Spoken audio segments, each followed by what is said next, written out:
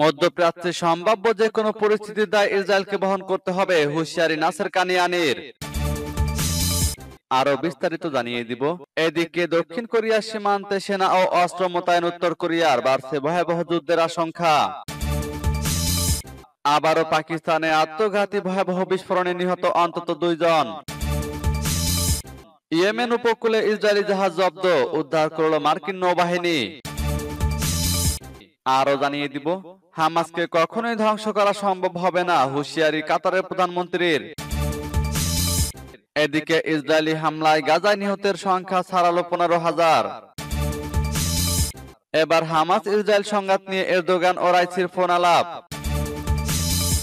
এবং সর্বশেষে জানিয়ে দিব গাজায় যুদ্ধবিরতির মেয়াদ আরও বাড়ার আশা যুক্তরাষ্ট্রের। শুনছিলেন সংবাদ শিরোনাম এখন বিস্তারিত। তবে তার আগে অনুরোধ থাকবে এই ভিডিওতে একটি লাইক দিন এবং কমেন্টস করে জানিয়ে দিন আপনি কোন জেলা থেকে বা কোথা থেকে আমাদের সাথে যুক্ত রয়েছেন। এবং সংবাদের সর্বশেষ গুরুত্বপূর্ণ আপডেট পেতে চ্যানেলটি সাবস্ক্রাইব করে আমাদের সঙ্গেই থাকুন। মধ্যপ্রাচ্যে সম্ভাব্য যে কোনো পরিস্থিতির দায় ইসরায়েলকে বহন করতে হবে হুঁশিয়ারি নাসের কানিয়ানির। পশ্চিম এশিয়া তথা মধ্যপ্রাচ্য অঞ্চলে উত্তেজনা বৃদ্ধি এবং যুদ্ধ ছড়িয়ে দেওয়ার ইসরায়েলি ষড়যন্ত্রের বিরুদ্ধে হুঁশিয়ারি উচ্চারণ করেছেন ইরান। তেহরান বলেছে, এর ফলে উদ্ভুত যে কোনো পরিস্থিতির দায় তেল আবিবকে বহন করতে হবে। ইরানের পররাষ্ট্র মন্ত্রণালয়ের মুখপাত্র নাসের কানিয়ানি তার অফিসিয়াল এক্স পেজে দেওয়া এক পোস্টে এ হুঁশিয়ারি উচ্চারণ করেন। অবরুদ্ধ গাজা উপত্যকার উপর ভয়াবহ আগ্রাসন চালানোর একই সময়ে সিরিয়ায় ইসরায়েলের ক্ষেপণাস্ত্র হামলা সম্পর্কে মন্তব্য করতে গিয়ে তিনি এ হুঁশিয়ারি দেন। কানিয়ানি বলেন গাজা উপত্যকায় যুদ্ধ অপরাধ ও মানবতা বিরোধী অপরাধ চালানোর একই সময়ে ইহুদিবাদীরা বিমানবন্দর সহ সিরিয়ার ভৌগোলিক অখণ্ডতা ও বেসামরিক অবকাঠামোর উপর হামলা জোরদার করার মাধ্যমে পশ্চিম এশিয়া অঞ্চলে যুদ্ধের উন্মাদনা ছড়িয়ে দিচ্ছে। তিনি সতর্ক করে দিয়ে বলেন এই অঞ্চলে সংকটের যে কোনো বিস্তৃতির জন্য ইহুদিবাদী ইসরায়েলকে দায়ী থাকতে হবে। ইসরায়েল সাম্প্রতিক সময়ে অনবরত সিরিয়ার সামরিক অবস্থানগুলোতে হামলা চালিয়ে যাচ্ছে। বিশেষ করে সিরিয়ায় লেবাননের ইসলামী প্রতিরোধ আন্দোলন হিজবুল্লাহর অবস্থান লক্ষ্য করে হামলা চালাচ্ছে দখলদার সেনারা। সিরিয়ায় বিগত দশকে বিদেশি মদতপুষ্ট সন্ত্রাসীদের বিরুদ্ধে লড়াইয়ের সময় দামেস্কো সরকারকে সাহায্য করতে সিরিয়ায় ঘাঁটি স্থাপন করেছিল হিজবুল্লাহ। সূত্র পার্স টুডে। এদিকে দক্ষিণ কোরিয়ার সীমান্তে সেনা ও অস্ত্র মোতায়েন উত্তর কোরিয়ার বাড়ছে ভয়াবহ যুদ্ধের আশঙ্কা। সম্প্রতি দক্ষিণ কোরিয়ার সঙ্গে সামরিক চুক্তি পুরোপুরি স্থগিত করেছে উত্তর কোরিয়া। একটি গোয়েন্দা উপগ্রহ সফলভাবে উৎক্ষেপণের পর প্রথমে দক্ষিণ কোরিয়া চুক্তিটি আংশিক স্থগিত করে। এরপর উত্তর কোরিয়া পুরোপুরি স্থগিত করে সেই চুক্তি। এদিকে সামরিক চুক্তি স্থগিতের পর সীমান্তে সেনা ও ভারী অস্ত্র মোতায়েন জোরদার করেছে উত্তর কোরিয়া। দক্ষিণ কোরিয়ার সামরিক বাহিনী এই তথ্য জানিয়েছে। দক্ষিণ কোরিয়ার প্রতিরক্ষা মন্ত্রণালয় বলেছে, গত শুক্রবার থেকে উত্তর কোরিয়ার সীমান্তের কয়েকটি স্থানে ক্ষতিগ্রস্ত পূর্ণ গার্ড পোস্টগুলোকে আবার ঠিকঠাক করার চেষ্টা করছে। এ বিষয়ে প্রমাণ হিসেবে তারা কিছু চিত্র তুলে ধরেছে। এদিকে উত্তর কোরিয়া হুঁশিয়ার উচ্চারণ করে বলেছে, কৃত্রিম উপগ্রহ উৎক্ষেপণ সহ তার যাবতীয় সার্বভৌম অধিকার চর্চা অব্যাহত রাখবে দেশটি। রাষ্ট্রীয় গণমাধ্যম কোরিয়ান সেন্ট্রাল নিউজ এজেন্সি বা কেসিএনএ বলেছে গত সপ্তাহে আমেরিকা ও তার মিত্রদের পর্যবেক্ষণ করার প্রয়োজনীয়তা থেকে একটি নজরদারি উপগ্রহ উৎক্ষেপণ করা হয়েছে। এই উপগ্রহ উৎক্ষেপণের পর দক্ষিণ কোরিয়া ক্ষুব্ধ প্রতিক্রিয়া ব্যক্ত করে এবং দুই সালে সই হওয়া আন্ত কোরীয় সামরিক চুক্তির গুরুত্বপূর্ণ ক্লোজ স্থগিত করে। এর প্রতিক্রিয়ায় ওই চুক্তি পুরোপুরি স্থগিতের পাশাপাশি সীমান্তে সেনা ও ভারী অস্ত্র মোতায়েন জোরদার করল উত্তর কোরিয়া। সূত্র রয়টার্স দ্য গার্ডিয়ানের পাকিস্তানে ভয়াবহ আত্মঘাতী বিস্ফোরণে নিহত অন্তত দুইজন। পাকিস্তানে ফের আত্মঘাতী বিস্ফোরণের ঘটনা ঘটেছে। দেশটির হাফিজ গুল বাহাদুর গ্রুপের সঙ্গে সম্পৃক্ত একজন আফগান আত্মঘাতী বোমা হামলাকারী খাইবার পাখতুখান খোয়ার বান্নু জেলার নিরাপত্তা বাহিনীর বহর লক্ষ্য করে এই বিস্ফোরণ ঘটিয়েছে। এতে নিহত হয়েছেন দুই বেসামরিক ও তিন সেনা সহ অন্তত আহত হয়েছেন আরও জন। সোমবার পাকিস্তান সেনাবাহিনীর মিডিয়া শাখা কথা জানিয়েছে। খবর জিও নিউজের। ইন্টার সার্ভিস পাবলিক রিলেশনস বলেছে, একটি মোটর সাইকেল বাহী আত্মঘাতী বোমারু রোববার বাক্কা খেলা এলাকায় দুর্ভাগ্যজনক ঘটনাটি ঘটিয়েছে। আহতদের মধ্যে সাতজন বেসামরিক এবং তিনজন সেনা। এলাকার সন্ত্রাসীদের নির্মূল করার জন্য অভিযান চলছে।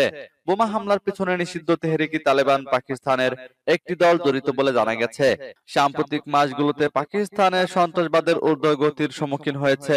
টিটিপি ও অন্যান্য জঙ্গি সংগঠনগুলো নিরাপত্তা বাহিনীর বিরুদ্ধে তাদের তৎপরতা জোরদার করেছে।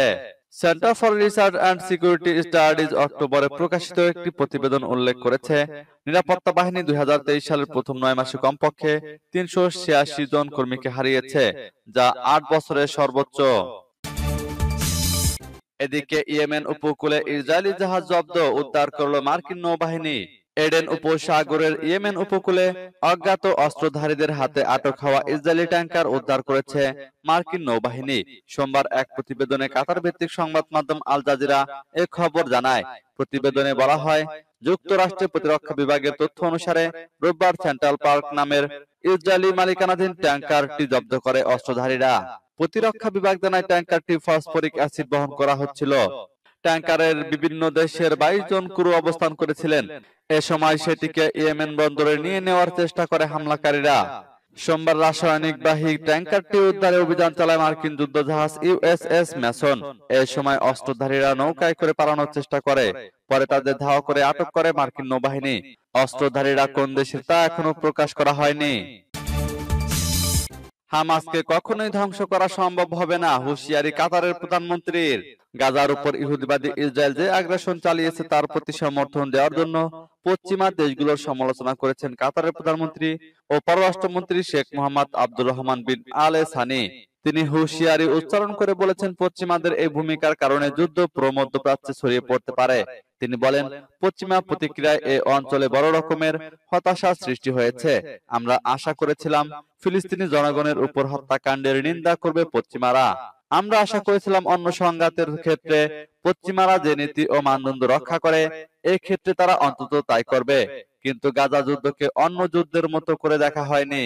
গতকাল ব্রিটিশ পত্রিকা ফাইন্যান্সিয়াল টাইমস কে দেওয়া সাক্ষাৎকারে কাতারের প্রধানমন্ত্রী এসব কথা বলেন। তিনি বলেন, গাজায় এই ধ্বংস, হত্যাযজ্ঞ ও বাস্তুচ্যুতির পর এখন সবার দায়িত্ব হচ্ছে চলমান যুদ্ধবিরতির মেয়াদ বাড়ানোর ব্যবস্থা করা। হামাসকে নিশ্চিহ্ন করার বিষয়ে ইহুদিবাদী ইসরায়েলের ঘোষণাকে কাতারের প্রধানমন্ত্রী বাস্তবসম্মত নয় বলে মন্তব্য করেন।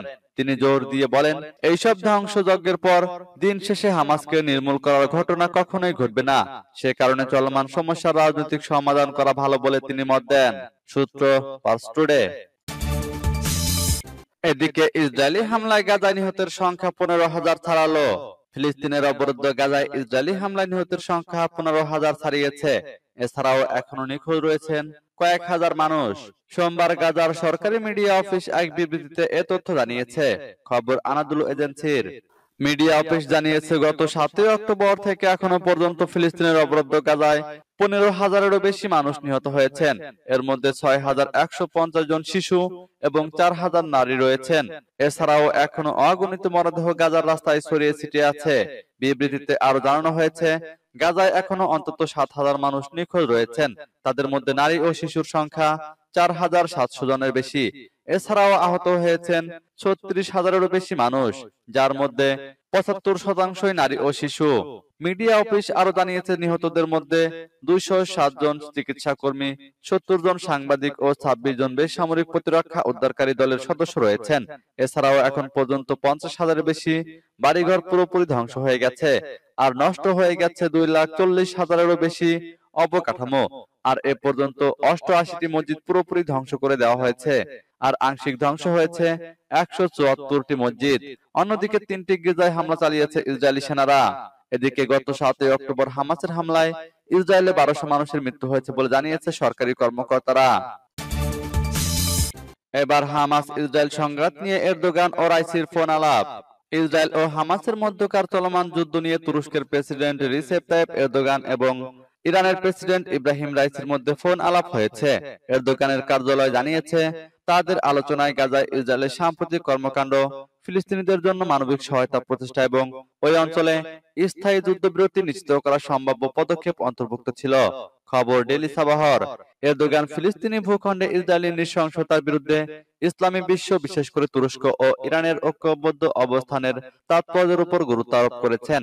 নেতৃবৃন্দ দু দেশের মধ্যে আসন্ন উচ্চ পর্যায়ের সহযোগিতা কাউন্সিলের প্রস্তুতি ও এজেন্ডা নিয়ে মতবিনিময় করেন। চলতি মাসের শুরুতে উজবেকিস্তানে তাদের সাম্প্রতিক মুখোমুখি বৈঠকের পর এ ফোন আলাপ হলো যেখানে তারা দ্বিপাক্ষিক সম্পর্ক এবং গাজার ক্রমবর্ধমান পরিস্থিতি নিয়ে আলোচনা করেছেন। প্রসঙ্গত ইরানের পররাষ্ট্রমন্ত্রী হুসেইন আমির আব্দুল্লাহিয়ান তুরস্কের পররাষ্ট্রমন্ত্রী হাকান ফিদানের সঙ্গে আলোচনার জন্য গত পহেলা নভেম্বর আঙ্কারা সফর করেন। বৈঠকে উভয় পক্ষ ইসরায়েলের আগ্রাসন বন্ধ ও ওই অঞ্চলে মানবিক সহায়তা প্রদান এবং উত্তর গাজা উপত্যকায় নাগরিকদের বাস্তুচ্যুত হওয়া রোধসহ মৌলিক কয়েকটি বিষয় মোকাবেলায় যৌথ প্রচেষ্টার প্রতিশ্রুতি দেয়। দোহায় কাতারের কর্মকর্তা ও হামাসের রাজনৈতিক নেতৃত্বের সঙ্গে আলোচনার পর এরদোগান ও তার প্রতিনিধি দল আঙ্কারায় পৌঁছান। এদিকে গাজায় যুদ্ধবিরতির মেয়াদ আরও বাড়ার আশা যুক্তরাষ্ট্রের। ইসরায়েল ও হামাসের মধ্যকার যুদ্ধবিরতির মেয়াদ দুই দিন বাড়ানোর বিষয়টিকে স্বাগত জানিয়েছেন যুক্তরাষ্ট্রের প্রেসিডেন্ট জো বাইডেন। একইভাবে একে স্বাগত জানিয়ে মার্কিন জাতীয় নিরাপত্তা পরিষদের মুখপাত্র জন কির্বি বলেছেন তারা আশা করছেন মানবিক এ বিরতি আরও দীর্ঘ সময়ের জন্য অব্যাহত থাকবে। চব্বিশে নভেম্বর থেকে ইসরায়েল ও ফিলিস্তিনের স্বাধীনতাকামী সংগঠন হামাসের মধ্যে চার দিনের যুদ্ধবিরতি শুরু হয়। এর মেয়াদ গতকাল সোমবার সাতাশে নভেম্বর শেষ হওয়ার কথা ছিল। তবে কাতারের মধ্যস্থতায় এর মেয়াদ আরও দুই দিন বেড়েছে। দ্য টাইমস অফ ইসরায়েল জানায়, যুদ্ধবিরতির মেয়াদ বাড়ানোর পটভূমিতে গতকাল এক বিবৃতিতে মার্কিন প্রেসিডেন্ট বলেন, এ চুক্তি নিশ্চিত করার জন্য আমি সর্বাত্মকভাবে সম্পৃক্ত রয়েছি। বিস্তৃতভাবে মার্কিন মধ্যস্থতা ও কূটনৈতিক তৎপরতার মাধ্যমে ফলাফল টেকসই হতে পারে। অন্যদিকে, যুদ্ধবিরতির মেয়াদ দুই দিন বাড়ানোর বিষয়টিকে স্বাগত জানিয়ে মার্কিন জাতীয় নিরাপত্তা পরিষদের মুখপাত্র জন কির্বি সাংবাদিকদের বলেন অবশ্যই আমরা আশা করব যে বিরতির মেয়াদ আরও বাড়ানো হবে এবং এটি নির্ভর করবে হামাজ জিম্মিদের মুক্তি দেওয়ার বিষয়টি অব্যাহত রাখার উপর।